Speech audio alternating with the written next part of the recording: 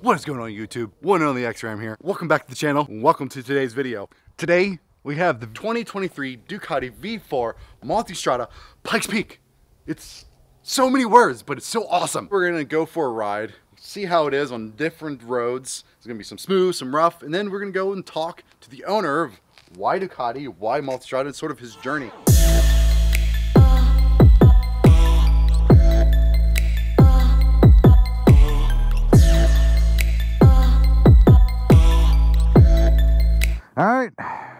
V4 Multistrada, Pikes Peak, Pikes Peak Multistrada V4, however the fuck you want to say it. Here it is. I really like this.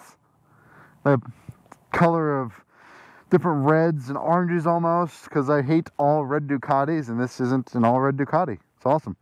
This fine gentleman here is allowing me to ride his baby.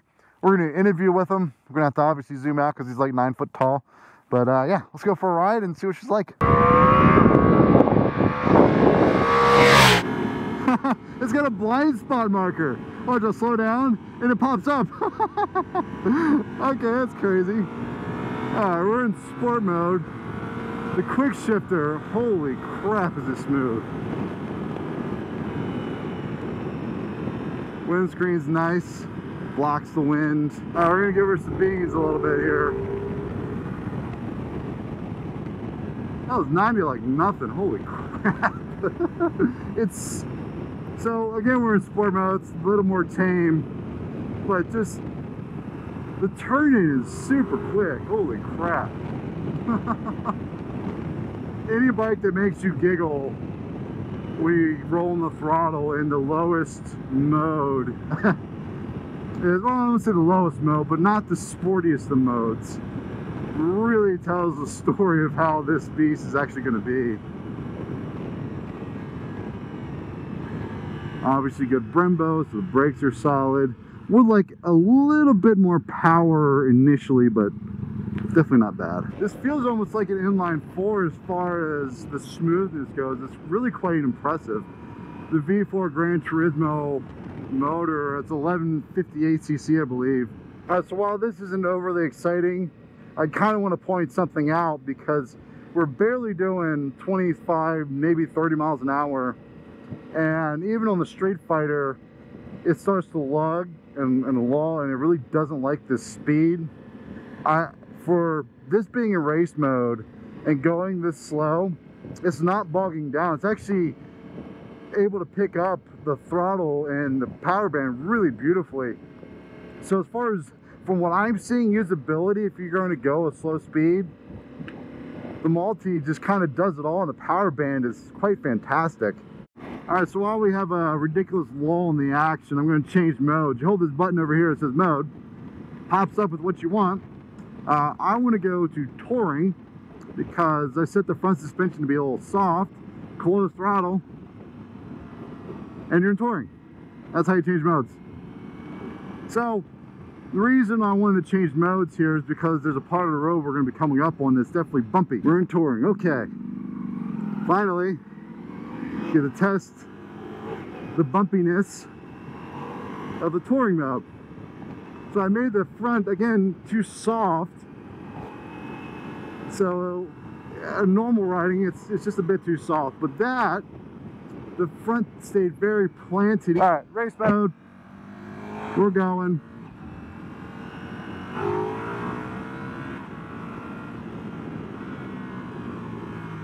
Woo, more brakes.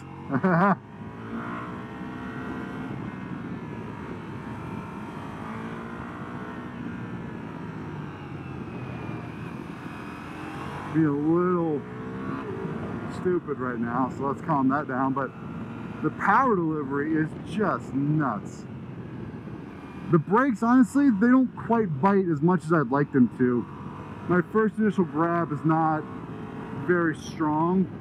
Like they're strong, but they don't really, they don't, they don't bite quite as hard as I would like them to. So to me, as fast as this bike really is, I think the brakes need to be a little bit more aggressive than what they are. So one of my only knocks is the how the brakes feel, you know. Aside from that, you know, if you're riding it normally, the brakes have a very strong feel. Uh, but if you're trying to push it, uh, it sort of leaves a little to be desired. I'll tell you what, the quick shifter on this is very freaking good. It's probably one of the smoothest Ducati quick shifters I've honestly ridden in a while. And, you know, I've, I've ridden the newer Panigales on the track and pushed it. But for like normal riding, this thing was fantastic. This quick shifter super, super smooth. And that's in all throttle position. All right, so I'm gonna do a quick test here. I'm neutral throttle. Normally in older Ducatis, you can't downshift. Downshift it. Like 1299s, the older V4s, if they really didn't like that, they wouldn't do them at all. And that is a huge improvement by Ducati to make all throttle positions be shiftable because BMW or Aprilia, they do that no problem. There's a lot of wind hitting me,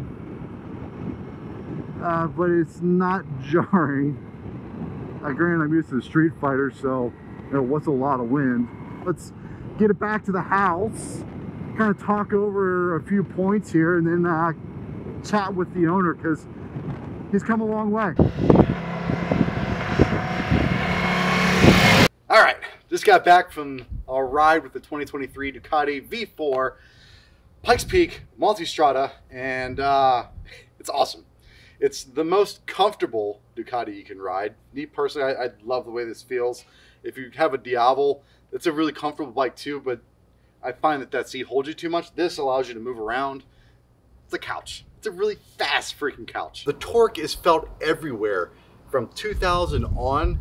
I found that in like second, third, fourth gears, it just came alive and made it really easy to ride. Like I mentioned in my ride, it was very surprising to me. Most Ducatis, at least the ones that I'm used to riding, don't really like the low revs. I even went down to like 20 miles an hour and showed in second gear how much it didn't loll and it didn't buck. It, it was very smooth. And I likened it almost to an inline four. Doesn't matter what throttle position you're in. I even showed you in moderate throttle, I was able to downshift from fifth to fourth and it didn't bind, it didn't buck. It was super smooth. And I found that to be really impressive because it's on par with where the Aprilias are at, which to me, Aprilia is the best quick shifter that's out there. This Pikes Peak is loaded with electronics. I was thinking about doing a deep dive into the dash and I, I there's so many menus, so much to go through that that would be an hour long video by itself. So, out the window, I'm going to talk about a couple key things, a couple key little trinkets that this bike has. One, it has blind spot markers. I noticed that when my buddy was riding behind me, this little yellow on the mirror would pop up and catch my attention. I'm like, what is that? And I looked and I accelerated away, it went away. I slowed down. It works really well. And for a bike to have that's pretty impressive. To go with that is it has adaptive cruise control. Now, I didn't get to play with it where we were at. It was very twisty. For, again, a bike to have adaptive cruise control, that's pretty epic, especially when you're going on long trips, which, I mean, obviously, that's what this thing's for, is for traveling. And another cool point is really just the adjustability. Like I said, the menu's so insane, hugely in depth, tons of settings, suspension settings, whether it's just you as a rider, you as a rider with some luggage, you as a passenger, you as a passenger with luggage. So that's just one aspect. Then you can change it from harder, softer, even softer. It's like I almost thought the setting said softer, which would have been funny, but Ducati's not that. They're not funny like that. They just do weird stuff with technology. But I'm just in awe of what this 2023 Multistrada has packed in to just this insane package. All right, so with any bike, I always talk about the brakes. This bike is, you know, nothing to get away from. Obviously, it has Brembos. They're strong. Uh, the thing that I don't like about them is the bite. The initial feel is kind of lacking. I, I want more power right away because this thing is very fast. And to slow down from a higher set of speed, I like it to be a bit stronger initially so you can bleed off because yes, you can teach yourself to just grab a handful of brake to really slow it down, but usually that's bad practice because grab a handful of brake, bad things tend to happen. Although this thing has ridiculous ABS and everything on it, so kind of play with it as you will. But to me, I'd like them to be a little stronger, and again, that initial bite to be there. All All right, so while I get a step ladder so I can introduce the owner, Mike here. Um, How's it going? Like the MV, I really want to get the owner's perspective because a lot of people want to know, you know, why would you go from a CBR or a Yamaha to Ducati, or why would you choose a certain brand? Because a lot of people start with one brand and try to stick with them, but you had a diff- different story. Well, I met somebody named Chris and his wife Jen, and they convinced me that Ducati was awesome. And he took me for a ride on a V4S on a nice October day in 2019, and I fell in love with the brand. Um, they're amazing. They are absolutely amazing bikes. They give you a feel that no other brand can do. Um, I've been a Honda guy my entire life. I started riding when I was four years old, so being exposed to Ducati, my dad was always like, "Yeah, those things they break down. You don't want to buy them. They're too expensive."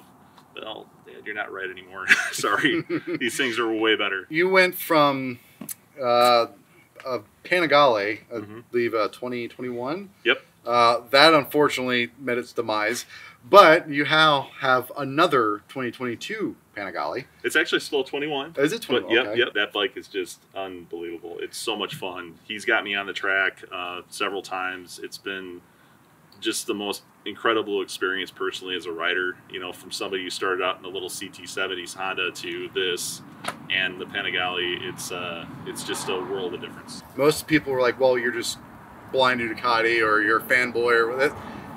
I tell you what, anyone that's ridden my stuff has had an experience. Rode this thing. And a freaking smile on my Yeah, face. right? Like, why would you be so comfortable? Yeah, going so fast and then being able to, you know, have your cruise control just to the car in front of you. Yeah. Oh, oh yeah, your blind spot marker. Like little things like that just make motorcycling fun. And Ducati just, to me, raises the bar to another level. the soul that you feel in this bike is a very heavily prideful Italian heritage that you see whenever they do their uh, Ducati week. You know, I, one day I really want to go there. I want to go to Mugello. I want to see what it's like in that environment because it, like, the entire country shuts down and it becomes all about this motorcycle brand. yeah, Mike, I appreciate it. Thanks again. Thanks for the Yeah, ride. And you. uh, guys, I hope you enjoyed my little ride, the B roll, and this little conversation kind of shows that uh, I'm just not talking out, you know, different holes. But with that, you all have a good one. I'm out.